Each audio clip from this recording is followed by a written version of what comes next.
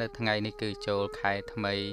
ជាថ្ងៃអាទិត្យមួយកើតខ្នើតខែស្រាប ឆ្នាំចសម្រិទ្ធស័កពុទ្ធសករាជ2562ត្រូវនឹងថ្ងៃទី12ខែសីហាឆ្នាំ2018ផោសាធវោ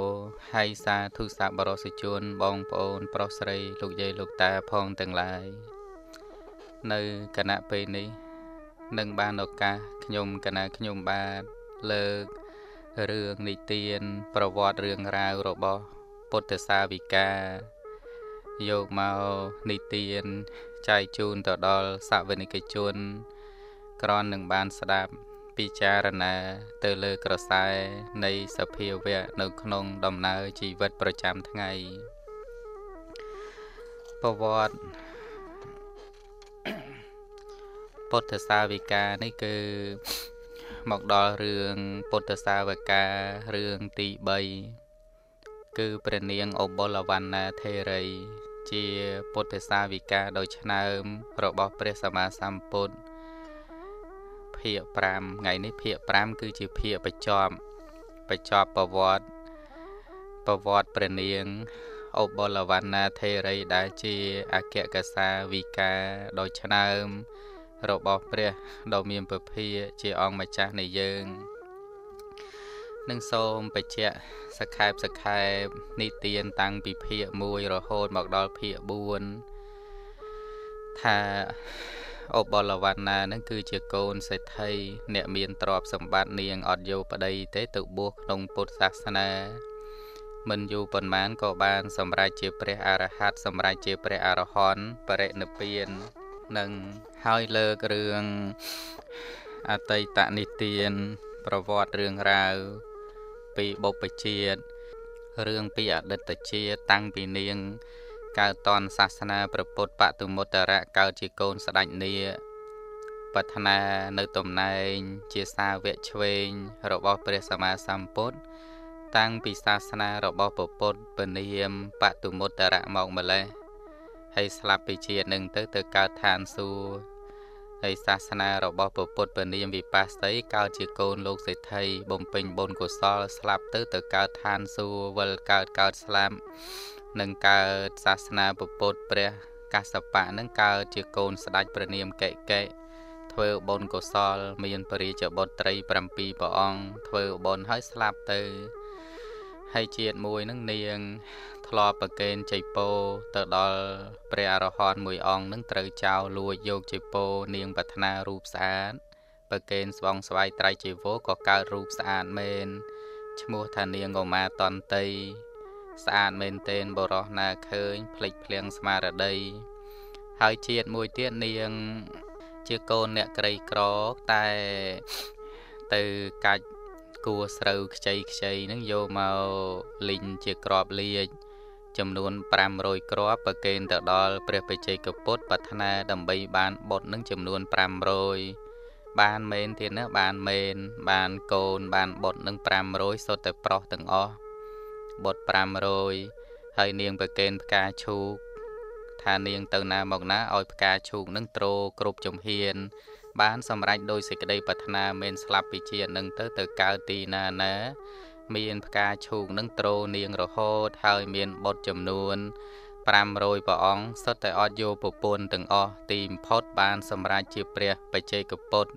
បច្ចេកពុទ្ធនឹងគឺលោកអ្នកត្រាស់ដឹងដោយព្រះអង្គឯងអត់ទទួលមាន នៅសត្វថ្វាលោកណាបានទេ គេហៅថាព្រះបច្ចេកពុទ្ធចំណែកឯព្រះពុទ្ធគឺ ព្រះអង្គត្រាស់ដឹងខ្លួនព្រះអង្គហើយទូមានសត្វដតីបានអប់រំសត្វដតីបានហៅថាព្រះពុទ្ធនឹងខុសគ្នាខុសពីព្រះបច្ចេកពុទ្ធ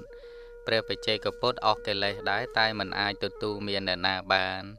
ពពុទ្ធនៃយើងព្រះអង្គអស់កិលេសព្រះអង្គអស់កិលេសខ្លួនព្រះអង្គហើយក៏អាចទូមានសពសត្វតនិកទាំងឡាយឲ្យអស់កិលេសតាមព្រះអង្គដែរ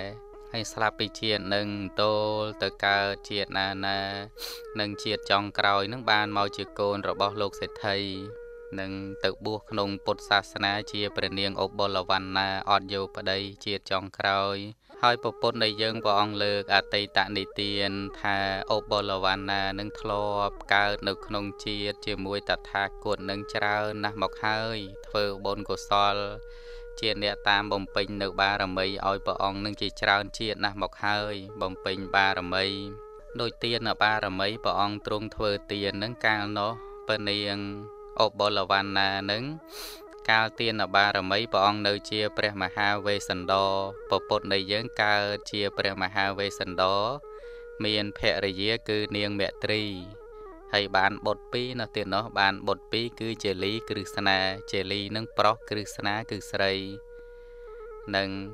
ជាលីគ្រឹស្នានឹងគឺនាងអបលវណ្ណានឹងឯងគ្រឹស្នានឹងនៅទៀតនេះជាតិចុងក្រោយមកបានមកជាអបលវណ្ណា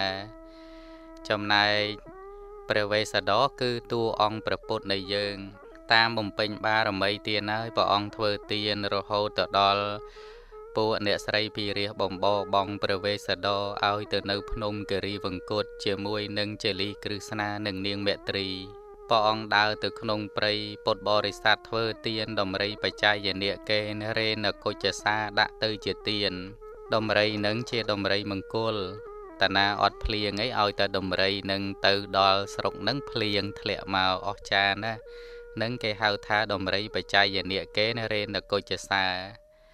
ពពួកអ្នកស្រីពីរះទាំងឡាយគេអត់ទុកព្រះវេស្សន្តរឲ្យនៅក្នុងព្រះនគរទេ ជាកូនស្ដេចរបស់ព្រះបាទជេតុដបើទុកព្រះវេស្សន្តរឲ្យនៅក្នុងព្រះនគរនគរនឹងដល់នៅសេចក្តីវិនាសដោយសារព្រះអង្គធ្វើទានអស់អលីងធ្វើឲ្យអ្នកស្រុកនឹងគេខឹងសបាព្រះអង្គទៅនៅក្នុងព្រៃដឹកដៃជាលីគ្រឹស្នាជាមួយនាងមត្រី ទៅដល់ក្នុងព្រៃហើយតាជូរជក់ណោទៅសុំជាលីគ្រឹស្នាទៅទៀត ព្រះអង្គក៏លះបង់ជាលីគ្រឹស្នានឹងដាក់ទៅជាទានដល់តាជូរជក់ជាលីជាតិចុងក្រោយមកគឺព្រះរាហុលគ្រឹស្នានឹងគឺនាងឧបលវណ្ណាជាតិចុងក្រោយ រហូតទៅដល់ព្រះអង្គលះបង់នាងមេត្រីឲ្យទៅឥន្ទព្រាមលះបង់ប្រពន្ធគេហៅថាទារៈបរិច្ចាគលះបង់ប្រពន្ធបុត្របរិច្ចាគលះបង់កូនធនៈបរិច្ចាគលះបង់ទ្រព្យ អង្គបរិច្ចាគលះបង់អវយវៈដៃជើងជីវិតបរិច្ចាគព្រះអង្គលះបង់ជីវិតថាដើម្បីអីដើម្បីដើមផាន់ដូរយកពោធិញ្ញាណដើម្បីបានត្រាស់ដឹងនៅសពសัตว์ត្រាស់ដឹងជាពុទ្ធយកធម៌មកចម្លងសពសត្វតនិកអមរទេវតាទាំងឡាយឲ្យបានទទួលនៅសេចក្តីសុខសេចក្តីចម្រើនតាមព្រះអង្គព្រះអង្គលះបង់សុខតូចបដូរយកសុខធំមើលជាកូនស្ដេចពវេសដរជាកូនស្ដេច មានបរិជ្ជបុត្រមានពពួននឹងចាត់ទុកថាសុខហើយមិនមែនមិនសុខទេ តែសេចក្តីសុខនឹងជាសេចក្តីសុខដ៏តូចព្រះអង្គលះបង់សក់តូចលះបង់រាជសម្បត្តិលះបង់ប្រពន្ធកូនចាត់ទុកថាជាសក់តូចព្រះអង្គដូរយកនៅសក់ធំពោលគឺបរមសក់គឺព្រះនិព្វាន ត្រាស់ដឹងជាពុទ្ធពេលព្រះអង្គត្រាស់ដឹងជាពុទ្ធហើយទ្រង់បំពេញនៅចរិយាទាំងឡាយ3ប្រការ ពុទ្ធតចរិយាត្រាស់ដឹងជាពុទ្ធលោកតញាតតចរិយាទី2ព្រះអង្គចង់សង្គ្រោះទៅដល់ព្រះញាតវង្សានុវង្សរបស់ព្រះអង្គជាពិសេសលោកកថាចរិយាព្រះអង្គសង្គ្រោះទៅដល់សត្វថ្វាក់លោកទាំងឡាយដែលមានអវិជ្ជាពោលគឺសេចក្តីល្ងិតល្ងងខ្លៅសួរថាព្រះអង្គអត់ស្រឡាញ់កូនទេឬអត់ស្រឡាញ់ប្រពន្ធទេឬថាស្រឡាញ់ស្រឡាញ់ណាស់ជាកែវភ្នែក ស្រឡាញ់ចលីគ្រឹស្នាមិនមែនមិនស្រឡាញ់បរិជ្ជបុត្រទេស្រឡាញ់ណាស់ពេលដែលព្រះអង្គលះបង់ចលីគ្រឹស្នាឲ្យទៅទីតាតាជូរជក់តាជូជក់វាយវត្តជាលីគ្រឹស្នាពីវពីមុខពវេសដរព្រះអង្គខឹងណាទៀតណានៅជាពុទ្ធជនលះបង់ការខឹងអត់អស់ទេតោមនោសៈសហកតាំងបដិខៈសម្បយុតតាំងអសង្ខារិកាំងនៅខឹងនៅឡើយ ភាសាបរមត្តនឹងខឹងថ្នាំងថ្នាក់ចិត្ត ចង់ទាញធ្នូស្នានឹងទៅបាញ់តាជូរជក់សម្លាប់ចោលទៅទៀតនៅក្នុងគណៈពេលនឹងតែព្រះអង្គទប់វិញមានខន្តីបើសិនជាយើងធ្វើយ៉ាងដូច្នោះមិនបានត្រាស់ដឹងជាពុទ្ធទេណាហើយចោះជេលីគ្រឹស្នាបុត្របៃតាកូនទ្រាំទៅតាមយថាកម្មរបស់កូនទៅកូនតាមបំពេញនៅបារមីហើយជេលីគ្រឹស្នានឹងគឺជាកនសែងសារពេជ្រជាអ្នកតាមបំពេញបារមីឲ្យដល់ព្រះពុទ្ធនៃយើង ព្រះអង្គតលតលះបងប្រពន្ធកូនលះបងទ្របលះបងអវយវៈអ្នកណាសុំភ្នែកព្រះអង្គឆ្កៀលភ្នែកដាក់ទៅជាទៀនសុំដៃព្រះអង្គកាត់ដៃជីវិតបរិច្ចាគទី5នឹងលះបងជីវិតដាក់ទៅជាទៀនទៅទៀនដើម្បីអីដើម្បីបានត្រាស់ដឹងជាពុទ្ធត្រាស់ដឹងជាព្រះសម្មាសម្ពុទ្ធសង្គ្រោះទៅដល់សត្វថ្វាក់លោកទាំងឡាយនឹងពេល ស្លាប់ពីជាតិនឹងទៅទៅកើតឋានសួគ៌ទាំងអស់នឹងជេលីគ្រឹស្នាគ្រឹស្នាហ្នឹងគឺនាងអបលវណ្ណាព្រះអង្គទ្រង់ប្រជុំនៃទានជាដកកាលព្រះអង្គនៅជាព្រះវេស្សដរនឹងនាងអបលវណ្ណាកាលនោះកើតជានាងគ្រឹស្នា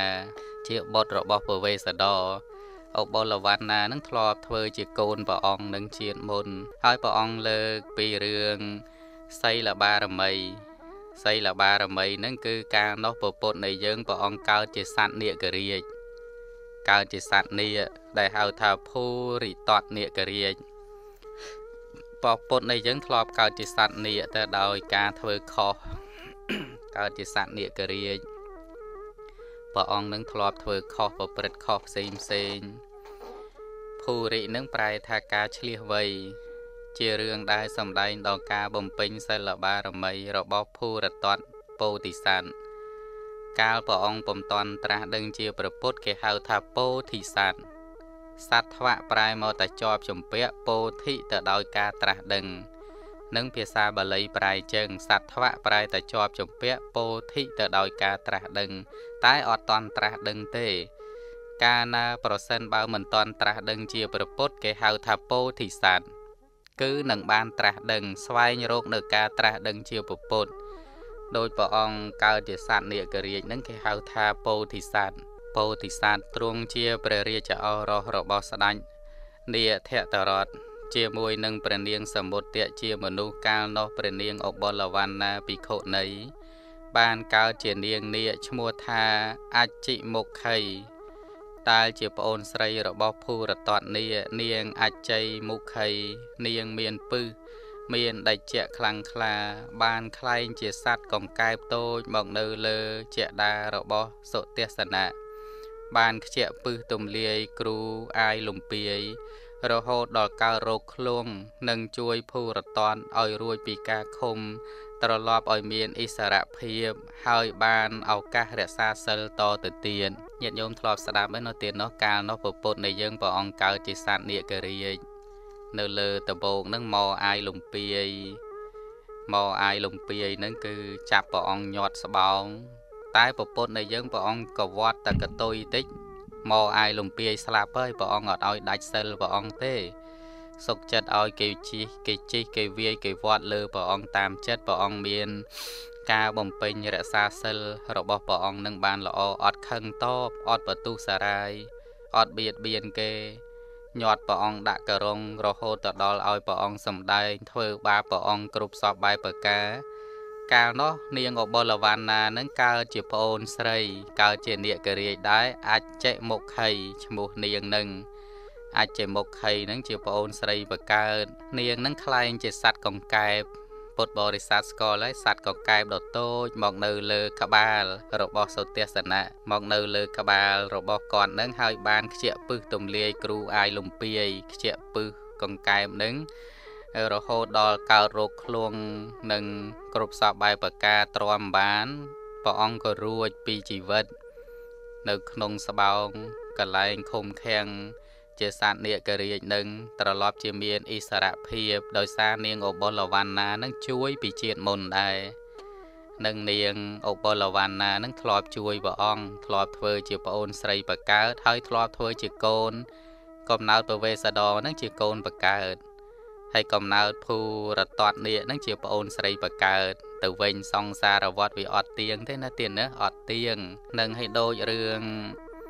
នៃខមៈបារមីព្រះអង្គបំពេញនៅនៃខមៈគឺការចេញបួសការចេញបួសដូចជាព្រះអង្គ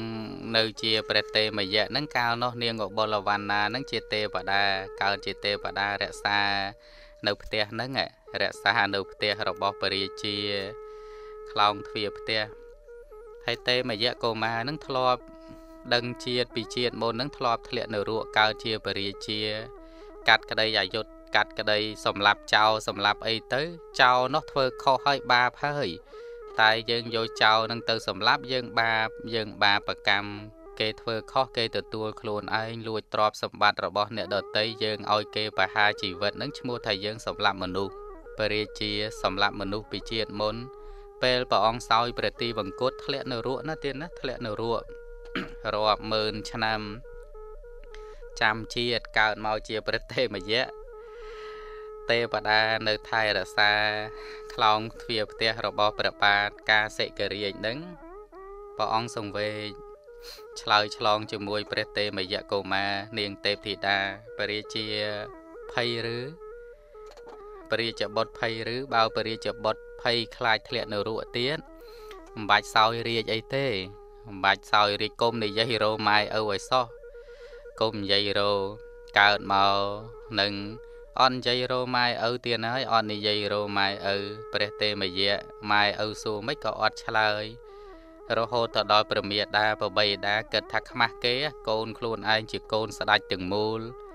ទុកឲ្យនៅព្រះបរមរាជវាំងទៅអីអាមាត្យនាមើនសក់មុខមន្ត្រីទាំងឡាយចូលអ្នកឯងយកកូនយើងទៅកប់ចោលទៅ កើតមកគោថ្លង់ខ្មាស់គេ ពេលអាមាត្យនឹងបរត់ទៅដល់ព្រៃជីកកប់ព្រះអង្គនឹង ព្រះអង្គកវីអទេសកវីរត់ឆាល់កវីរត់រាជអាមាថាពរិជ្ជបុត្រពរិជ្ជកុមារពរិជ្ជកុមារទេមយៈទេតើយើងនឹងហើយគឺជាទេមយៈឥឡូវពរិជ្ជកុមារមានពរិជ្ជអង្គការបានអាចអាចនិយាយបានឥឡូវត្រឡប់ទៅ ជាមួយទូលព្រះបង្គំវិញទៅព្រះបរមរាជវាំងព្រះអង្គឆ្លើយថាយើងមិនទៅទេអ្នកឯងទៅចោះ ទៅប្រាប់ទៅដល់ពរាជមេដាព្រះបិតាព្រះមេដាព្រះបិតារបស់យើងទៅយើងមិនសោយរាជជាស្ដេចទេដោយសារជាតិមុនយើងសោយរាជជាស្ដេចសម្លាប់អ្នកទោសនឹងហើយបានជាយើងធ្លាក់នៅរੂឥឡូវយើងមិនសោយរាជទេអ្នកឯងទៅប្រាប់ទៅដល់ព្រះមេដាព្រះបិតារបស់យើងទៅយើងបួសជាតបោះនៅក្នុងព្រៃនេះហើយព្រះអង្គក៏បួសទៅ នឹងគេហៅថានេខមៈបារមីនឹងគឺការចេញបព្វជាការនេខមៈព្រះអង្គបំពេញនៅជាព្រះទេមយៈកុមារកាលនោះនាងអបុលវណ្ណានឹងកើតជាទេពធីតានៅក្នុងផ្ទះនឹងនៅផ្ទះណាក៏មានទេវតាតាមគម្ពីរនៅផ្ទះណាក៏មានទេវតាគេហៅជានាងផ្ទះ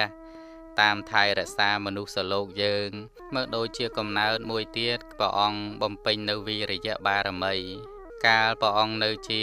ព្រះមហាជនុនឹងទ្រង់បំពេញនៅវីរយៈបារមីលិចទឹកនៅក្នុងកណ្ដាលមហាសមុទ្រមនុស្សរាប់រយនាក់ជីសំពៅនៅលើកណ្ដាលមហាសមុទ្រពេលដែលសមុទ្រនឹងវាធ្លុះធ្លាយរត់ចុះឡើងឆ្លេឆ្លាអត់មានសេចក្តីព្យាយាមលិចសំពៅត្រីស៊ីអស់លីងត្រីឆ្លាមពពុទ្ធនៃយើងកាលនោះព្រះអង្គនៅជាព្រះមហាជនុឡើងទៅលើក្តងសំពៅព្រះអង្គលោតផ្លោះ រំលងត្រីទាំងឡាយហែលទឹក7យប់7ថ្ងៃព្រះអង្គមានវិរិយៈគឺសេចក្តីព្យាយាម មិនលះបង់នៅការព្យាយាមទេហែលទឹក7យប់7ថ្ងៃពុទ្ធបរិស័ទទាំងឡាយហែលទឹកនឹងចំនួន7យប់7ថ្ងៃមាននៅសេចក្តីព្យាយាម ការនោះមេកាឡារវល់តែរវល់ភ្លេចអត់បានមើលថែសមុទ្រ នឹងទៅលេងមិត្តភ័ក្តិមើលអីអត់បានថែសមុទ្រមនីមេខាឡាកាលនោះអបុលវណ្ណានឹងកើតជានាងមនីមេខាឡាជាទេវតាសមុទ្រជាអ្នកថែសមុទ្រដល់ថ្ងៃទី7មនីមេខាឡានឹងឃើញឃើញមហាជនុតួអង្គប្រពុតនឹងហែលទឹកហែលទឹកទៅសួរអ្នកឯងមិនលះបង់នៅការព្យាយាម ព្រះអង្គឆ្លើយជីវិតរបស់យើងស្ថិតនៅដរាបណាសេចក្តីព្យាយាមរបស់ខ្ញុំស្ថិតនៅដរាបនោះព្រះអង្គឆ្លើយណាទៀតណាមហាជនុឆ្លើយ ឆ្លើយសេចក្តីព្យាយាម យើងពិចារណាឃើញទំនៀមរបស់លោក និងផលនៃសេចក្តីព្យាយាមហើយ បានជាព្យាយាមហែលទឹក នៅក្នុងមហាសមុទ្រដែលក្រឡេកមើលមិនឃើញកោះត្រើយនោះឯង យើងឃើញនៅសេចក្តីព្យាយាមគង់តែបានសម្រេចមនីមេខលា3ព្រះអង្គទៅនគរមិថេលាទៅជួយព្រះអង្គដែរជួយពីពីទឹកមហាសមុទ្រនិងវិរិយបារមីទ្រង់បំពេញនៅវិរិយៈគឺសេចក្តីព្យាយាម កាលព្រះអង្គយោនយកកំណើតកើតជាមហាជនៈមើលដូចបញ្ញាបារមី បញ្ញាបារមីកាលនោះព្រះអង្គបំពេញបញ្ញានឹងយោនយកកំណើតជាព្រះមហោសថ ពពុទ្ធនៃយើងមានព្រះនាមថាព្រះមហោសថប្រសូតមកចេះនិយាយមួយម៉ែឪបានដើរបានព្រះមហោសថនឹងអស្ចារកំណើតកើតមកអាចដើរនិយាយជាមួយម៉ែឪអីបានចឹងទៅព្រះមហោសថនៅក្នុងនៅក្នុងកាលនោះព្រះនាងអបលវណ្ណាថេរីបានកើតជានាងភេរីបរិពាជិកានាងអបលវណ្ណានឹងឈ្មោះថាភេរីបរិពាជិកា នឹងបានជាសាក្សីឲ្យព្រះមហោសថផុតពីសេចក្តីសង្ស័យដោយសេចក្តីថាជាអ្នកក្បត់ចំពោះស្ដេចជលនីជលនី គេចោតគេចោតព្រះមហាមហោសថនឹងជាអ្នកក្បត់នឹងជាអ្នកក្បត់ក្បត់ចំពោះស្ដេចជលនីរឿងនឹងវែងឆ្ងាយណាស់ទៀតណាគេចោតព្រះអង្គមនុស្សល្អគេចោតគេចោតប្រកាន់ថាព្រះអង្គនឹងជាជួនក្បត់ចេះមួយចោះមួយបាន ជានាងភេរីបរិពាជិកានឹងធ្វើជាសាក្សីសាក្សីថាមហោសតនឹងមិនមែនជាជនក្បត់ទេ ជាមនុស្សល្អត្រឹមត្រូវធ្វើជាសាក្សីឲ្យនឹងជួយព្រះអង្គឲ្យរួចពីជីវិតដែរកុំឲ្យស្ដាច់ជលនីនឹងសម្លាប់ព្រះអង្គពូអានេះអាក្រក់នឹងចោតប្រកាន់មហោសតចង់សម្លាប់មហោសតចោលសម្លាប់មនុស្សល្អអាខ្លួនឯងស៊ីលុយអត់បាននឹង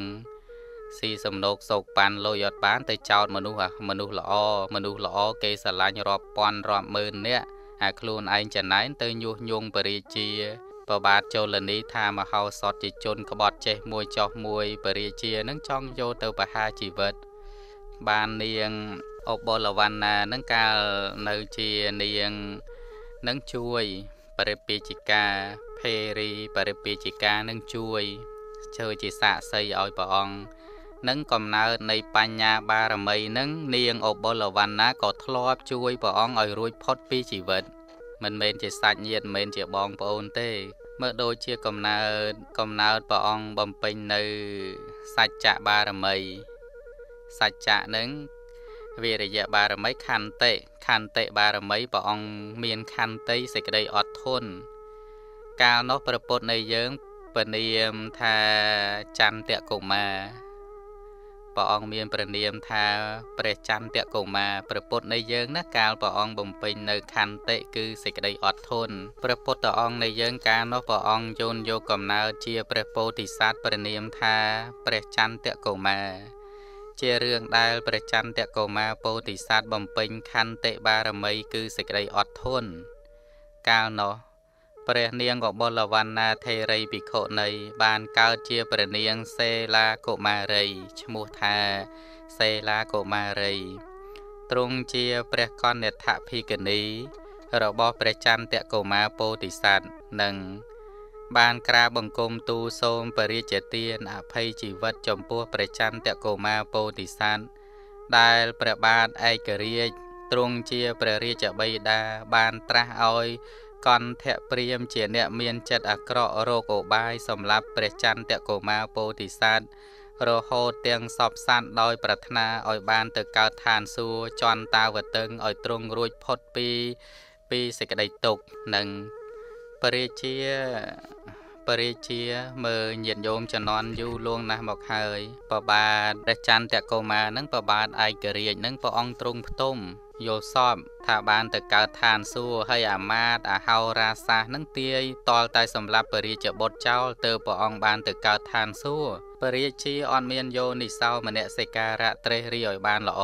ចង់បូជាយ៉ាញ់ព្រះអង្គទាំងរស់ទៀតហើយចង់បូជាព្រះចន្ទកុមារយោទៅដុតទាំងរស់ ដើម្បីឲ្យព្រះអង្គនឹងទៅកើតឋានសួគ៌អានឹងជំនឿអញ្ចឹងទៅជំនឿហើយអ្នកខ្លះបូជាយ៉ាញ់ដុតសัตว์ទាំងរស់អត់ទេពពុទ្ធនៃយើងអត់បានសម្ដែង ការបូជាយ៉ាញ់បូជាអីហ្នឹងជាមង្គលដ៏ប្រសើរមិនមែននោះទេ យើងសម្លាប់គេយើងបានសុខតាណាទៀតហើយព្រះអង្គសម្ដែង ការសម្លាប់សត្វហ្នឹងបាបកម្ម អាយុខ្លីទៀតមិនចាត់ទុកថាជាមង្គលខ្លួនឯងចង់បានសេចក្តីសុខតែម្នាក់ឯងបែរទៅជាប្រទុសរាយចំពោះសត្វដទៃ ធ្វើឲ្យគេដល់នៅសេចក្តីទុក្ខដល់នៅសេចក្តីលំបាកពពុទ្ធអង្គទ្រង់បាន ប្រកាសសម្ដែង សាពេតតនតតនដសៈសាពេភយន្តេមច្ចណោអត្តានังឧបមង្កត្វានេហនិយនិឃាតយេនឹងព្រះអង្គទ្រង់សម្ដែងសត្វលោកសុទ្ធតែភ័យខ្លាចចំពោះអញ្ញា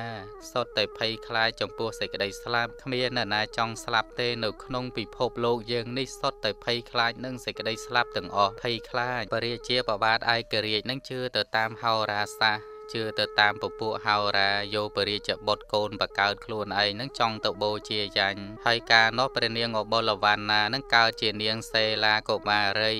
ជាព្រះកនិដ្ឋភិកនីបងស្រីសូមវបពិតព្រះបីតាហើយប្របីតាព្រះអនុជប្អូននឹងប្របីតាសម្លាប់ពរាជបុត្រខ្លួនឯងគុំសម្លាប់ឡើយនាងវវរហូតទៅដល់ពរាជាទួនចិត្តពរាជាប្របាទឯករាជ្យនឹងទួនចិត្តគុំអីដុតព្រះអង្គទាំងរស់នឹងនឹងកើតជាបងស្រីនឹងក៏ជួយជួយចន្ទកុមារទៀតជួយចន្ទកុមារនឹងឲ្យរួចពីជីវិត នាងអបុលវណ្ណា និងកំណើតព្រះអង្គបំពេញនៅខន្តិបារមី គឺសេចក្តីអត់ធន់អត់ធន់ហើយកំណើតមួយទៀតគឺសច្ចបារមីព្រះអង្គមានសច្ចៈគឺការពោលពាក្យទៀងត្រង់ពោលពាក្យនឹងដល់ទៀងត្រង់ដល់ត្រឹមត្រូវអត់កុហកទេមកជាតិនឹងព្រះអង្គពោលតែពាក្យសច្ចៈពោលតែពាក្យទៀងត្រង់កាលនោះព្រះអង្គនៅជាព្រះវិធុរៈពុទ្ធបរិស័ទធ្លាប់លឺឲ្យព្រះវិធុរៈបណ្ឌិតទៅ ពពុទ្ធនៃយើងកាលព្រះអង្គយោនយកកំណើតកើតជាព្រះវិធុរៈជារឿងដែលព្រះវិធុរៈបណ្ឌិតពោធិសត្វបំពេញនៅសច្ចបារមី កាលនោះព្រះនាងអបុលវណ្ណាថេរីភិក្ខុនី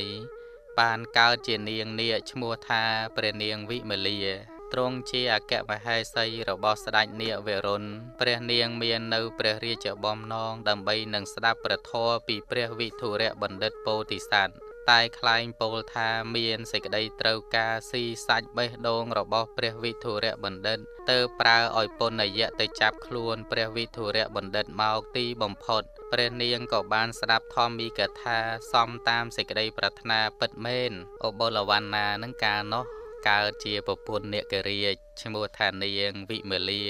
ព្រះអង្គពោលពាក្យទៀងត្រង់ពោលពាក្យទៀងត្រង់កើតជានាងវិមលា នាងនឹងចង់ស៊ីសាច់បេះដូងវិធុរៈបណ្ឌិត តាមពិតនាងឈឺចង់ស្ដាប់ពធចង់ស្ដាប់ពធទេពាក្យតែស៊ីសាច់បេះដូងនឹងចង់ក្រេបចិញ្ចក់បេះដូងបេះដូងធរពីវិធុរៈបណ្ឌិតនឹងល្បី ថាជាអ្នកប្រាជ្ញនៅមនុស្សលោកយើងនឹងល្បីថាជាអ្នកប្រាជ្ញជាអ្នកចេះចាំនៅធរអាសិក្ខាវិន័យនឹងច្រើនឲ្យពុនយៈនឹងទៅចាប់ព្រះអង្គមកទៀតហើយចាប់ព្រះបរមពោធិសត្វ ចាប់ព្រះអង្គចាប់វិធុរៈបណ្ឌិតព្រះអង្គសន្តានាគ្នាចោះឡើងចោះឡើង នាងស្ដាប់ពធស្ដាប់ពធយល់តាមសេចក្តីពិតនិងព្រះអង្គទ្រង់បំពេញពោលតែពាក្យពិតពោលពាក្យទៀងត្រង់សច្ចੰហវេសាធុតរੰរសានੰនិងព្រះអង្គទ្រង់សម្ដែងព្រះពុទ្ធអង្គទ្រង់សម្ដែងសច្ចੰហវេសាធុតរੰរសានੰរស់អ្វីស្មើស្មិនស្មើនឹងរស់គឺសច្ចៈនេះទេ ការពោលពាក្យទៀងត្រង់នឹងគឺជារស់ដ៏ប្រសើរជាឆ្ងាញ់ជាងរស់ផ្អែមឆ្ងាញ់ជាងរស់សម្លឆ្ងាញ់ជាងរស់អ្វីនៅក្នុងโลกនេះទៅទៀតការពោលពាក្យសច្ចៈនឹងណាទៀតណាក្នុងសង្គមគ្រួសារក៏ដោយរវាងប្តីប្រពន្ធបើខ្វះសច្ចៈខ្វះការពោលពាក្យទៀងត្រង់ហើយរស់នៅជាមួយគ្នាអត់មានរសឆ្ងាញ់ទេ វាលវិញជូរចត់មួយថ្ងៃមួយថ្ងៃឮតែឆ្លោះបកាយទាស់តេងខ្វែងគំនិតគ្នាទៅវិញទៅមកដោយសារតែវាអត់ជឿទុកចិត្តជឿជាក់គ្នាទៅវិញទៅមកនឹងបើប្តីកុហកប្រពន្ធមានស្រីណេះនោះហើយអត់សច្ចៈទៀងត្រង់ជាមួយប្រពន្ធទេ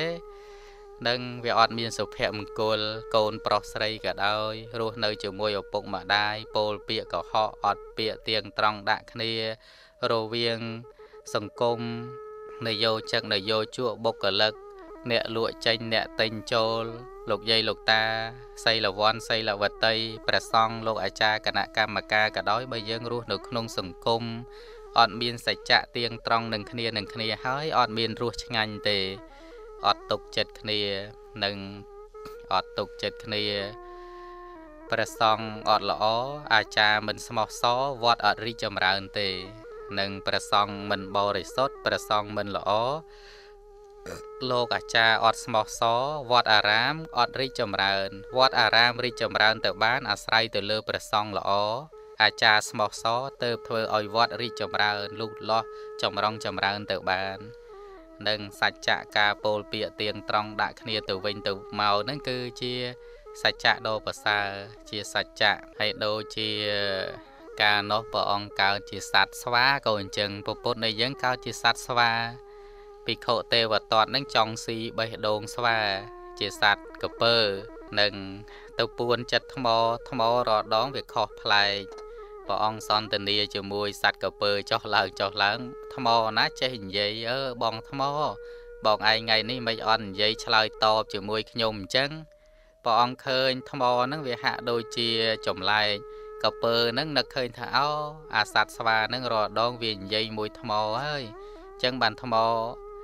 កពើនឹងឆ្លើយតបទៅកាន់ស្វាវិញល្បិចព្រះអង្គ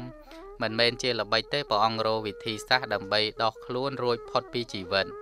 រួចផុតពីសត្រូវចឹងបងឯងចង់បរិភោគសាច់ខ្ញុំមែនទេ បើបងឯងចង់ស៊ីសាច់ខ្ញុំបងឯងបិទភ្នែកទៅខ្ញុំនឹងលោត លោតចូលលោតទៅបងឯងបិទភ្នែកមែនព្រះអង្គកពើនឹងបិទភ្នែកទៅព្រះអង្គលោតហោះទៅជន់ក្បាលកពើហើយផ្លោះមកតង់ឲ្យទៅត្រើយមកខាងបានបានចូលមាត់ណាហាមាត់ចាំចេព្រះអង្គលោតទៅលើមាត់នឹងកុំឲ្យចូលមាត់កពើ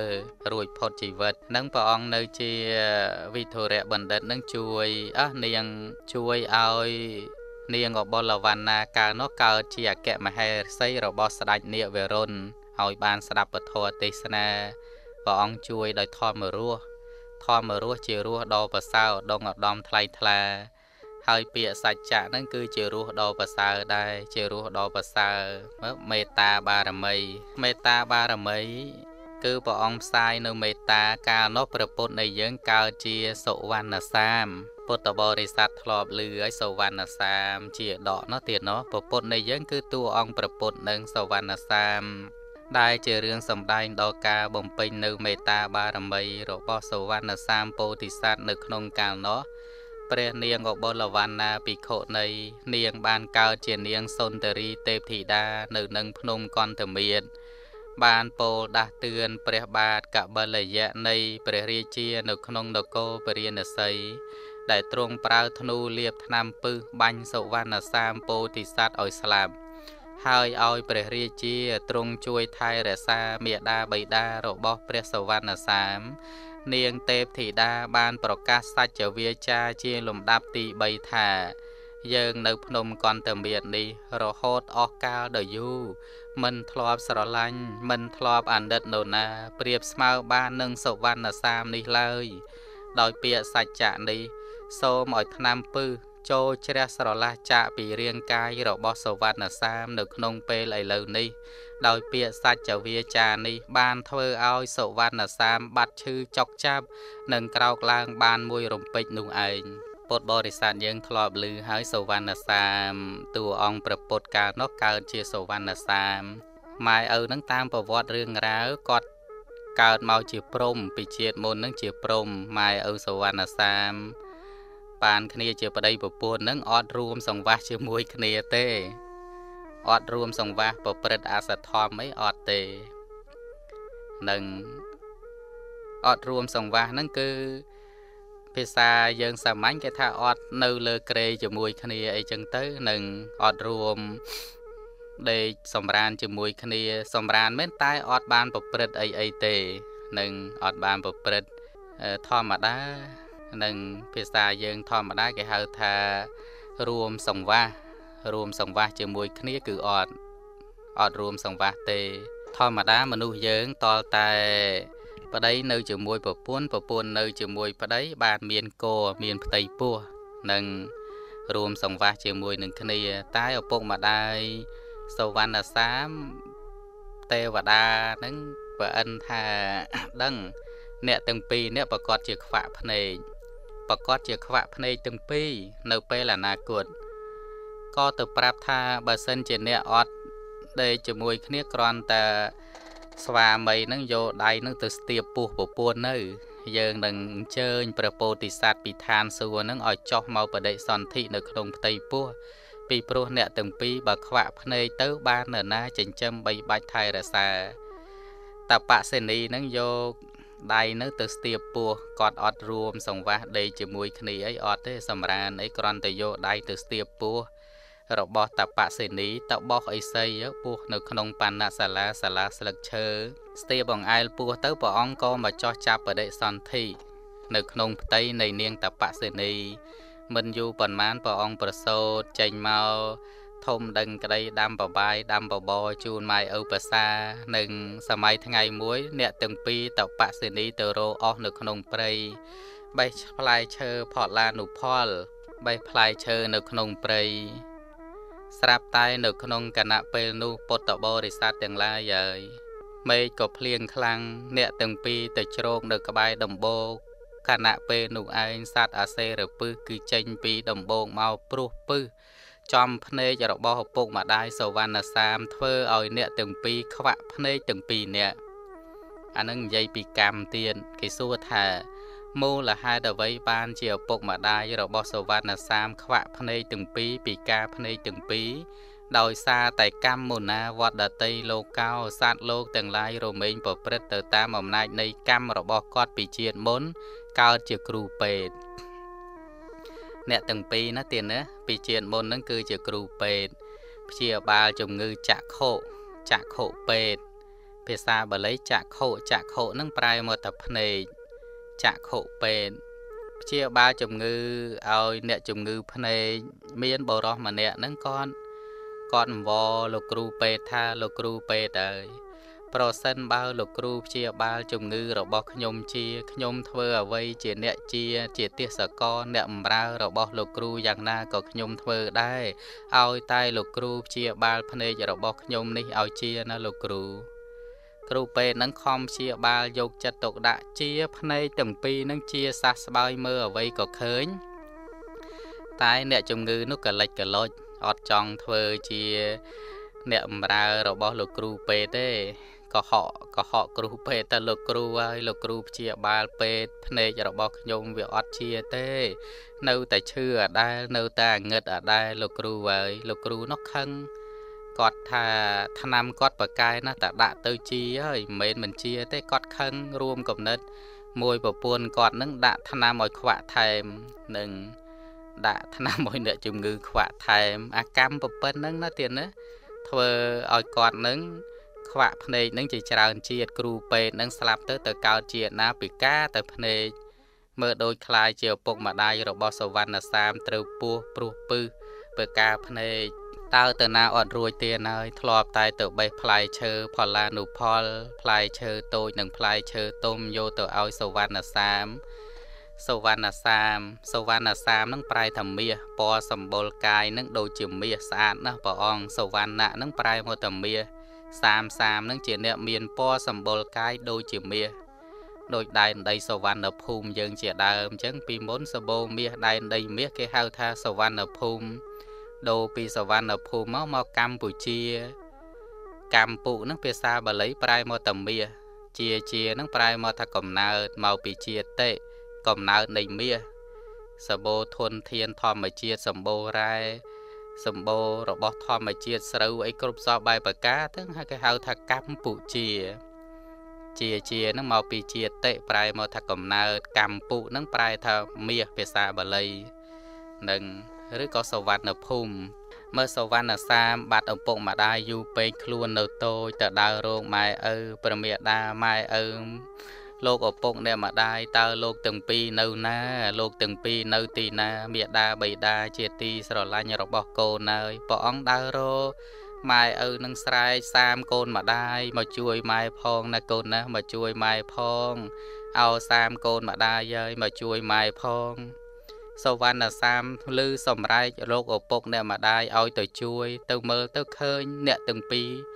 ត្រូវសត្វអាសេរពឹសគឺព្រោះពោះព្រោះពឹសខ្វាក់ភ្នែកទាំងពីរនិយាយពីសវណ្ណសាមយមរៀបរាប់គ្រប់សពបែបប្រការថាអោលោកអ្នកទាំងពីរមេដាបៃតារបស់កូនហើយជាព្រះព្រំរបស់កូន ជាទេវតារបស់កូន ជាអាចារ្យរបស់កូន ជាអាហុណយបុគ្គលជាបុគ្គលដែលកូនចៅប្រុសស្រីទាំងឡាយក៏បីគោរពបូជាឥឡូវលោកទាំងពីរខ្វាក់ភ្នែកទាំងពីរទៅហើយមិនអាចធ្វើអ្វីបានតទៅទៀតទេទុកភារៈនេះទៅដល់កូនជាអ្នកចិញ្ចឹមបីបាច់ថែរក្សាលោកអ្នកទាំងពីរពេលព្រឹកឡើងដឹកដៃឪពុកម្ដាយទៅនៅបណ្ណសាលាព្រឹកដាំបបរជូនគាត់ភាសាដាំបាយជូនគាត់ភាសាដាំទឹកក្តៅទឹកត្រជាក់គក់ច្បាច់ប្រវេសដរអព្រះ សុវណ្ណសាមបំរើមេដាបៃតាអស់ពីដួងចិត្តស្រាប់តែពីសម័យថ្ងៃមួយសុវណ្ណសាមនៅក្នុងព្រៃមានមរិគីមរិគាចោមរោមអមដំណើរជាច្រើនមនុស្សល្អសូមបីតែសត្វក៏គេស្រឡាញ់ច្រើនសត្វស្រឡាញ់ច្រើនពេលដែលព្រះអង្គទៅកណ្ដៀតក្អមទៅដងទឹកនៅក្នុងទីសាសទីស្រះសត្វមរិគីមរិគាទាំងឡាយក៏អមដំណើរព្រះបរមពោធិសត្វនិយាយពីសម័យថ្ងៃនោះ សម័យថ្ងៃមួយកបិលយៈមិនមែនជាយៈទេណាទៀតណាគឺព្រះនាព្រះរាជាទ្រង់ព្រះនាមថាកបិលយៈបានឃើញសវណ្ណសាមរួមជាមួយនឹងសត្វទាំងឡាយក៏គិតថាអោថាតើអ្នកណាគេណនៅក្នុងព្រៃមានពណ៌សម្បុរកាយស្អាតយ៉ាងម្លេះយ៉ាងដូចនេះតើជាមនុស្សឬក៏ជាទេវតាទៅណឬក៏ជាយៈនាគកន្ធប់ហេតុអ្វីបានជានៅក្នុងព្រៃព្រះរាជាព្រះអង្គពពៀត ប្រពៀតបបាញ់សัตว์នៅក្នុងព្រៃឃើញសវណ្ណសាមដ៏ស្រស់ស្អាតស្មានតែជាអមនុស្សខ្មោចព្រាយបិសាចឬក៏ពពួកទេវតាព្រះអង្គក៏លើកធ្នូស្នាពុទ្ធបរិស័ទទាំងឡាយព្រះរាជាទាញធ្នូស្នាដែលលាបថ្នាំពឹសតែបាញ់ត្រូវសัตว์ហើយគឺសាច់សัตว์នឹងប្រកាច់ប្រកិនអាធ្នូស្នាសនឹងព្រួយនឹងសិតតែលាបទៅដោយថ្នាំពឹស បាញ់ព្រះអង្គបាញ់ព្រះអង្គមកធ្នូស្នាទៀតហើយមកសចំកដៀតក្អមព្រះអង្គព្រះអង្គកំពុងតែកាន់ក្អមទៅដងទឹកនឹងនឹងស្រែកតើអ្នកណាមួយរើយពពោទិស័តសវណ្ណសាមត្រូវត្រូវមកព្រួញត្រូវមកសស្រែកតើអ្នកណាមួយរើយមកបាញ់ខ្ញុំខ្ញុំដើរតម្រង់ទៅដងទឹកដៃកណ្ដៀតក្អមលើសូអមរិតឬសូក៏ក្រឹកផែនពោសធា ចោះហេតុពីអ្វីមកបាញ់ខ្ញុំលោកអើយធ្វើកម្មអ្វីម្លេះណា មកបាញ់ខ្លួនប្រានអង្គអាត្មាឈាមដាបកាយាលើព្រះធរណីបើអត់អំពីខ្ញុំទៅតើបាននរណាចិញ្ចឹមរក្សាមេដាបៃតាដែលចាស់ជរាហេតុនោះ ប្រកាសជាដល់នៅសេចក្តីវិនិច្ឆ័យទាំង3នាក់ជាមិនខាន បើស្លាប់ខ្ញុំម្នាក់មិនអីទេ លោកឪពុកអ្នកម្ដាយជាព្រះរបស់ខ្ញុំនៅបណ្ណសាលាសាលាស្លឹកឈើលោកអ្នកទាំងពីរខ្វាក់ភ្នែកទាំងពីរឥឡូវនេះខ្ញុំត្រូវហេតុអ្វីបានជាអ្នកថាតើខ្ញុំមានពីអ្វីជាមួយនឹងអ្នកបានជាមកបាញ់ខ្ញុំយ៉ាងដូចនេះក្នុងកាលនោះពុទ្ធបរិស័ទលោកយាយលោកតាទាំងឡាយ ព្រះអង្គយមរៀបរាប់ឲ្យពរាជាមក3មក3សវណ្ណសាមថាសាមើយើងជាពរាជាអ្នកឯងឈ្មោះថាសវណ្ណសាម ជាកូនកតញ្ញូកតវេទីឥឡូវនេះយើងបាញ់អ្នកសូមអ្នកអត់ទោសសន្តោសប្រុសប្រណីមកដល់ខ្ញុំផងឥឡូវយើងជាអ្នកទំនប់បំរុងជាអ្នកទទួលភារៈចិញ្ចឹមឪពុកម្ដាយរបស់អ្នកជំនួសអ្នកណាសវណ្ណសាម ពូសវណ្ណសាមថាបើស្លាប់ទៅខ្លួនឯងម្នាក់មិនអីទេពុកម្ដាយគាត់មានវ័យចាស់ជរាទៅហើយលោកអ្នកទាំងពីរតើបាននរណាចិញ្ចឹមបីបាច់ថែរក្សាទៅបើលោក ខ្វាក់ភ្នែកទាំងពីរអស់អោអរុកអរៈទេវតានឹងព្រះអង្គយំសោកហើយពរាជានឹងក៏ដើរទៅកាន់ កន្លែងបណ្ណសាលាពុកម្ដាយសវណ្ណសាមឬសម្រាប់ជើងថាសម្រាប់ជើងនេះ មិនមែនជាសម្រាប់ជើងរបស់កូនខ្ញុំទេតើអ្នកជានរណាតើអ្នកជានរណា បានមកដល់ទីនេះសវណ្ណសាមកូនម្ដាយឥឡូវសម្រាប់ជើងនេះមិនមែនជាជើងរបស់កូនខ្ញុំទេពរាជាបានប្រាប់ តបសេនីតបោះទាំងពីរថាខ្ញុំជាពរាជា គ្រប់សពបែបប្រការទៅថាបាញ់សវណ្ណសាមត្រូវមកព្រួញសត្រូវមកសចំកណ្ដៀតក្អមនៅឯមាត់ស្រះឯណោ ម៉ែឪគ្រាន់តែលឺអញ្ចឹងរន្ធត់ចិត្តណាស់រន្ធត់ចិត្តឮតកូននឹងដេកស្លាប់បាត់បង់ស្មារតីលើព្រះធរណីឲ្យពរាជានឹងជូនជូនទៅកន្លែងកូនដួលដេកសវណ្ណសាមកូនម្ដាយតើកូននៅទីណាកូនម្ដាយម៉ែនឹងយំរៀបរាប់សវណ្ណសាមកូនហើយកូនហើយប្រត់ប្រាស់ពីមេដាមករងកម្មពៀកណ្ដាលព្រៃវេទនាខ្សឹងខ្សៃដោយសារតែឪពុកម្ដាយកូនសម្លាញ់មាសម្ដាយ ម៉ែនឹងយំណាទៀតណាយំគ្រប់សពបែបប្រការនឹងយំហើយការនឹងមានទំនួញស្មូតអីទៀតទៀតណោះទំនួញស្មូតម៉ែសវណ្ណសាមហើយសវណ្ណសាមត្រូវមកព្រួញមកសហ្នឹងក៏មាន អ្នកប្រាយើងចងក្រងជាស្មូត ដូចជាលោកប្រឡាត់អូនគាត់ស្មូតព្រោះសវណ្ណសាមស្មូតទំនួញរៀបរាប់ អោអ្នកណារឿយមកបាញ់ខ្ញុំខ្ញុំដើរតម្រង់ទៅដងទឹកដៃកណ្ដៀតក្អមជាមួយអមរិតនិងលន់ស្នូក៏ក្រឹកលើបសធា ចោះហេតុពីអ្វីមកបាញ់ខ្ញុំលោកអើយធ្វើកម្មអ្វីម្លេះណា មកបាញ់ធ្លុះប្រានអង្គអាត្មាឈាមដាបកាយាលើព្រះធរណី បើអត់អំពីខ្ញុំទៅតើបាននរណាចិញ្ចឹមរក្សាចោះហេតុពីអ្វីមកបាញ់ខ្ញុំលោកអើយធ្វើកម្មអ្វីម្លេះណា គ្រប់សពបែបប្រការចឹងទៅទំនួញសវណ្ណសាមនិងយមរៀបរាប់ក្នុងកាលនោះនាងអបុលវណ្ណានឹងកើតចិត្តដល់ម៉ោងហើយទៀននាងអបុលវណ្ណានឹងកើតជានាងទេពធីតា ជានាងទេពធីតា ទេពធីតានៅក្នុងព្រៃនឹងឃើញសវណ្ណសាមត្រូវធ្នូលៀបថ្នាំពឹសនាងទេពធីតានឹងក៏បានប្រកាសសច្ចវាចាជាលំដាប់ទី3គម្រប់3ដង នាងពោលណាទៀតណាទេវតានៅក្នុងព្រៃនឹងពោលថា យើងនៅភ្នំកន្តមាននេះមករហូតអស់កាលដ៏យូរមិនធ្លាប់ស្រឡាញ់មិនធ្លាប់អាណិតនរណាប្រៀបស្មើនឹងសវណ្ណសាមឡើយយើងមិនដែលអាណិតនរណា មិនដែលសូស្រឡាញ់នរណាដូចជាស្រឡាញ់សវណ្ណសាមជាអ្នកបំរើម៉ែឪនេះទេ ដោយសច្ចវាចាការពោលពាក្យពិតនេះ សូមឲ្យឆ្នាំពឹសចូលជ្រះស្រឡះចាកពីរាងកាយរបស់សវណ្ណសាម ក្នុងពេលឥឡូវនេះ ដោយសច្ចវាចានេះបានធ្វើឲ្យសវណ្ណសាមនឹងបាត់ឈឺចុកចាប់រស់ឡើងវិញទេណានឹងក្រោកឡើងបានមួយរំពេចសវណ្ណសាមនឹងគឺចង់បញ្ជាក់ពីមេត្តាបារមីទោះបីព្រះអង្គត្រូវមកព្រួញហើយព្រះអង្គផ្សាយមេត្តាអត់ខឹងអត់សម្បាអ្នកណាបទុសារាយអ្នកណាទេទោះបីជាបាញ់ព្រះអង្គមកព្រួញមកធ្នូស្នាព្រះអង្គផ្សាយមេត្តាឲ្យអ្នកនឹងបានសុខទៅទៀតកុំឲ្យមានពៀនឹងគ្នា នឹងអត់ចងគំនុំគុំគួនជាមួយគ្នាទេនឹងសវណ្ណសាម ជាតួអង្គទ្រង់បំពេញនៅមេត្តាបារមី មួយវិញទៀតការដែលព្រះនាងអបុលវណ្ណាថេរីភិក្ខុនីបានកើតជាពរិជាធីតារបស់ព្រះមហាវេស្សន្តរក៏បានមានពោលក៏បានមានពោលរួចមកហើយមានសម្ដែងប្រកាសនៅក្នុងគម្ពីរខុទ្ទកនិកាយអបទានដោយព្រះថេរីជាអ្នកពោលដោយខ្លួនឯង ក្នុងទីចំពោះព្រះភ័ក្រព្រះភគវានាងអបុលវណ្ណានឹងពោលថានាងកើតជាជានាងចេលីគ្រឹស្នាកើតជានាងគ្រឹស្នាកាលនោះសិតតែនាងពោលចំពោះមុខពពុទ្ធនៃយើង នៅមានរឿងអតីតជាតិរបស់ព្រះនាងអបុលវណ្ណាធេរី មាននៅក្នុងអដ្ឋកថាបរមត្តទីបនី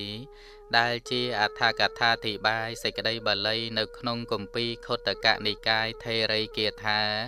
ជារឿងដែលព្រះនាងពោលដល់ជីវិតក្រមចិត្តតូចចិត្តរបស់ព្រះនាងដូចមានសេចក្តីថាមើលនាងតូចចិត្តយ៉ាងម៉េចជាមួយព្រះអង្គក្នុងអតីតជានាងធ្លាប់បានជាភរិយារបស់អ្នកឈ្មួញរទេះម្នាក់ដោយថ្ងៃមួយ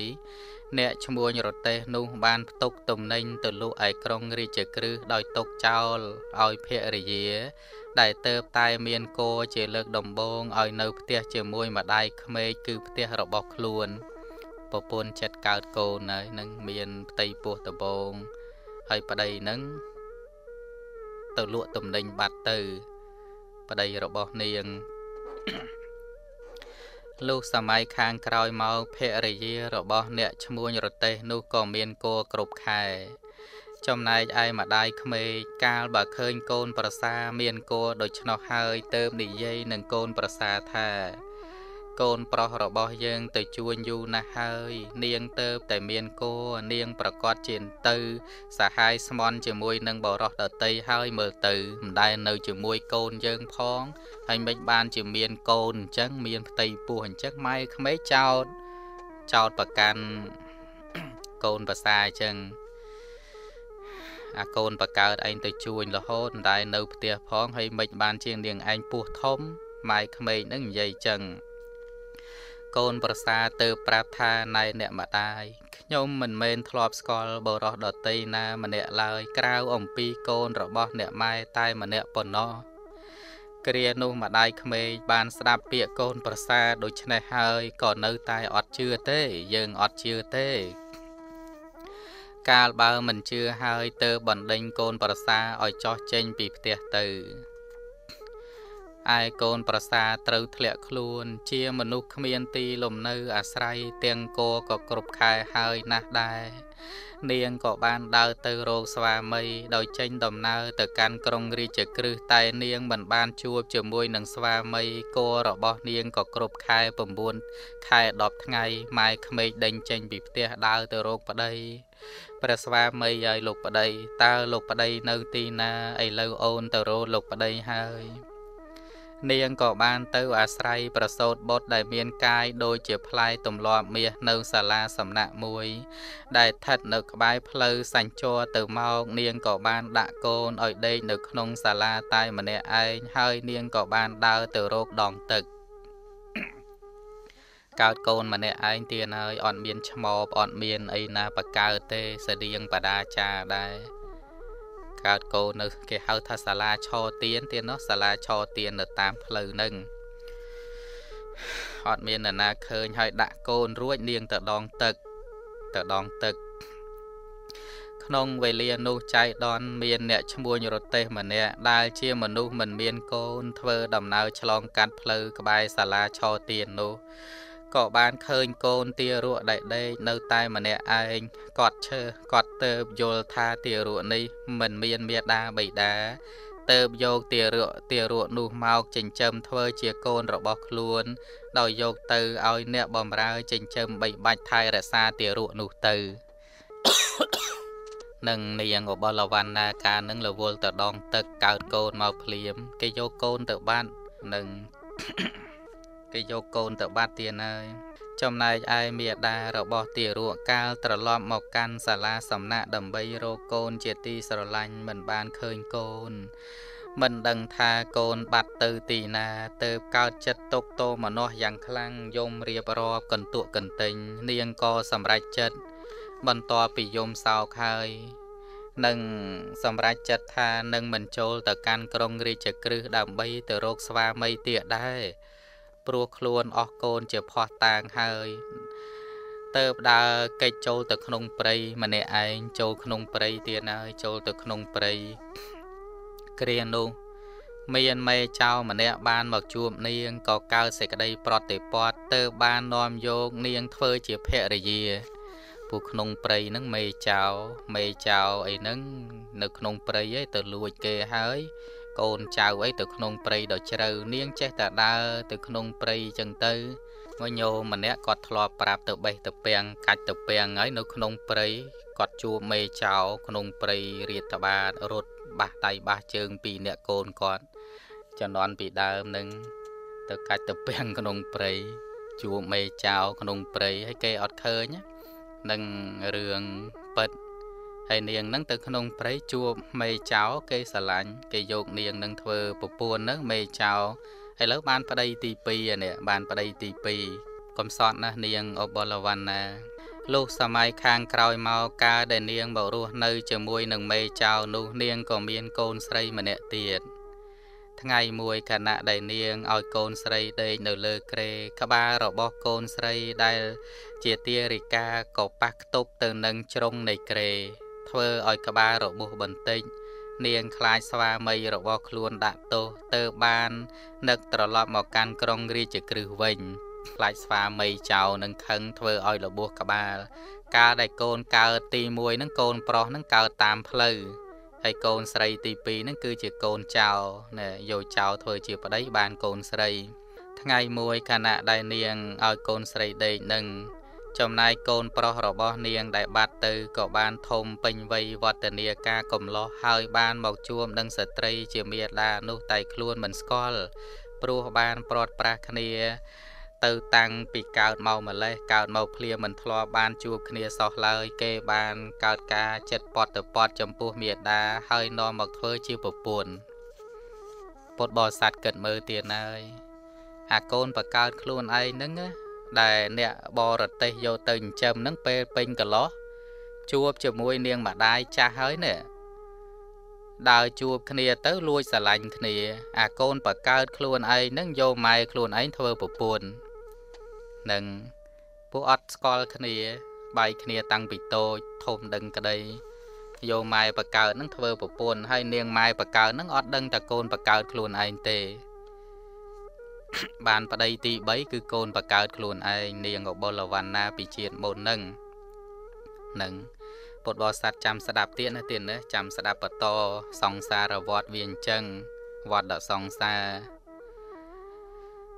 កាលជាខាងក្រោយមកកូនប្រុសរបស់នាង បានទៅសូមកូនក្រមុំចៅមកធ្វើជាភរិយាព្រោះគេមិនដឹងថា កូនក្រមុំចៅនោះជាប្អូនស្រីរបស់ខ្លួនសូមបីតែមេដាក៏មិនស្គាល់កូនស្រីរបស់ខ្លួនដែរសេចក្តីថាមាននប់នោះបានមេដានិងប្អូនស្រីរបស់ខ្លួនធ្វើជាភរិយាទាំងពីរនាក់ដោយរស់នៅជាមួយគ្នាថ្ងៃមួយស្ត្រីជាមេតាបានស្រាយភ្នួងសក់របស់កូនស្រីចេញរោគចៃឲ្យញាតិញោមស្ដាប់រឿងនឹងបានដែរនៅទៀតណោះ បានម៉ែបកើតខ្លួនឯងអត់មានកូន ហើយក៏សុំប្រពន្ធនឹងទៅយកប្រពន្ធមួយទៀតហើយប្រពន្ធដើមហ្នឹងក៏ចិត្តល្អឲ្យទៅយកពួនមួយទៀតឲ្យបានកូនប្រើទៅហើយយកមិនយកណាយកប៉ះចំកូនបកើតខ្លួនឯងទៀតជាមួយអាមេចៅជាមួយមេចៅប្តីទី2ហ្នឹងអាប្អូនអាបងប្រុសហ្នឹងទៅយកប៉ះចំប្អូនស្រីបកើតខ្លួនឯង ម៉ែតែមួយតែឪពុកដោយឡែកនឹងម៉ែតែមួយហើយមើលយកម៉ែខ្លួនឯងធ្វើប្រពន្ធអត់ដឹងម៉ែចាស់ជាងអត់ដឹងណាអត់ដឹងហើយសម័យថ្ងៃមួយអ្នកទាំងពីរអ្នកហ្នឹងប្រពន្ធដើមពន្ធចង់ហ្នឹងរោចៃឲ្យគ្នាទៅវិញទៅមកស្ត្រីជាមេដាបានស្រាយភ្នួងសក់របស់កូនស្រីចេញរោគចៃឲ្យការដែលនាងវេកសក់កូនស្រីរោគចៃ ទៅបានបន្តិចនាងក៏បានឃើញស្លាកស្នាមរបួសត្រង់លើក្បាលរបស់កូនស្រីទៅនឹកសង្ស័យថាស្ត្រីនេះគង់នឹងជាកូនស្រីរបស់យើងទេដឹងទៅបានជាសាកសួរអំពីប្រវត្តិអ្នកឯងកូនណាមកពីណា ដឹងខ្ញុំកូនចៅអោកូនស្រីម្ដាយដឹងជីវិតរបស់មនុស្សនេះមិនមានអ្វីពិតប្រកបសោះនាងតក់ស្លុតយ៉ាងក្រៃលែងទៅសម្រេចចិត្ត នឹងចេញទៅបួសជាភិក្ខុនីទៅបួសជាភិក្ខុនីទៅទៅបួសហើយបើដឹងថាកូនប្រុសនឹងកូនបកើតខ្លួនឯងទៀតមិនដឹងយ៉ាងណាមើលដឹងអត់ទៀតណោះនាងទៅបួសទៅម្បាក់ចិត្តណាបាក់ចិត្តទៅបួសនឹងទៅបួសភិក្ខុនីកាលព្រះនាងអបលវណ្ណាធេរី បានធ្វើកិច្ចបព្វជិតនេះចប់ហើយ នាងក៏បាននៅជាសុខក្នុងឈានសុខក្នុងផលនិងសុខព្រះនិព្វាន ថ្ងៃមួយនាងពិចារណាឃើញទោសនៅក្នុងកាមទាំងឡាយដ៏ថោកទាបនិងសៅមងទើបបានពោលបគាថាដដែលជាមួយនឹងគាថាដែលព្រះថេរីមានសេចក្តីតក់ស្លុតពោលជាមួយនឹងមាដែលជាអ្នកមកក្នុងបំណងដើម្បីទម្លាយចាវិវេករបស់ព្រះថេរីតាមដែលមានសម្ដែងទុកនៅក្នុងគម្ពីរខុទ្ទកនិកាយថេរីគាថានៃទ្វាទេសកនិបាតនិងនាងពោល នឹងវត្តសង្សារស្លាប់ពីជាតិនឹងទៅជាតិក្រោយមកក៏ជាតិក្រោយមកតាមពិតនាងដឹងតើដឹងស្លាកស្នាម បាតជើងកូនប្រុសនឹងពេលដែលនាងកើតមកនាងចាំបាន បាតជើងកូនប្រុសខ្លួនឯងមានកាយ៉ាវមិនកាយ៉ាវអីខ្នងអីនាងចាំប្តីនាងមើលចុះឡើងចុះឡើងបានដឹង ដឹងថាកូនបកើតខ្លួនឯងសង្វេគពូឃើញស្លាកស្នាមកាយ៉ាវអីគ្រប់សពបែបប្រការមិនគួរណាយកកូនបកើតធ្វើប្តីមិនគួរណាកូនស្រីបកើតមករួមប្តីជាមួយកូនបកើតចឹងសង្វេគទៅបួសនឹងជាតិចង់ក្រោយមកបានជាពនាងអបុលវណ្ណានឹងទៅបួសដែរអត់យកប្តីទេសូមអនុមោទនី កណាធាននឹងបញ្ចប់វគ្គបញ្ចប់ភាគ5នឹងចប់ត្រឹមនឹងប្រវត្តិរបស់នាងអបុលវណ្ណាធេរីភិក្ខុនីមុននឹងបញ្ចប់សូមប្រកេនពរដល់បករណាប្រគុណម្ចាស់ជូនពរពុទ្ធបរិស័ទទាំងឡាយយកចិត្តទុកដាក់ស្ដាប់ពធទេសនា សូមឲ្យបានចំណែកបុណ្យកុសលស្មើស្មើព្រះអង្គស្មើស្មើរូបកំបីឃ្លៀងឃ្លាតឡើយចឹងខ្ញុំកណាសំដែងពីប្រវត្តិព្រះនាងអបលវណ្ណាថេរីក៏ដល់ពេលវេលានឹងបញ្ចប់ស្លេះប៉ុណ្ណេះអស់សេចក្តីនៃវាចាថាអេវ៉ាំងសូមអនុមោទនី